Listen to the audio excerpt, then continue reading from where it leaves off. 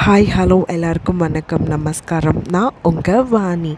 இன்றைக்கி வாணி சமையலில் நம்ம எல்லாருமே குழந்தைங்களுக்கு குழந்தைங்களாக இருக்கட்டும் இல்லை நம்ம ஸ்கூல் காலேஜஸ்க்கு கொண்டு போகிற வாட்டர் பாட்டில்ஸாக இருக்கட்டும் க்ளீன் பண்ணுறதுக்கு கண்டிப்பாக இது போல் ப்ரஷஸ்ஸு யூஸ் பண்ணுங்கள் இது எல்லா மார்க்கெட்லேயும் கிடைக்கிது ஆன்லைன் ஸ்டோர்லேயும் கிடைக்கிது.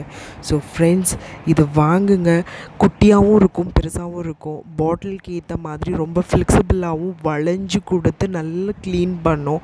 ஸோ இது ரொம்ப ரொம்ப நம்ம கிச்சனுக்கு வந்து தேவையான ஒரு ஐட்டம்ஸு ஸோ ஃப்ரெண்ட்ஸ் எல்லோரும் வாங்கி பார்த்துட்டு எந்த அளவுக்கு யூஸ்ஃபுல்லாக இருந்தது அப்படின்றது என்னோடய கமெண்ட் செக்ஷனில் போஸ்ட் பண்ணுங்கள் இதில் குட்டியாக இருக்கிறது வந்து கிச்சனில் மட்டும் இல்லைங்க நம்ம டிஃபன் பாக்ஸு ஓர ஓரத்தில் இருக்கிற அந்த டிஃபன் பாக்ஸ் மூடியில் இருக்கிறது அந்த அழுக்குகள் எல்லாமே க்ளீன் பண்ணுறதுக்கு ரொம்ப கம்ஃபர்டபுளாக இருக்கும்.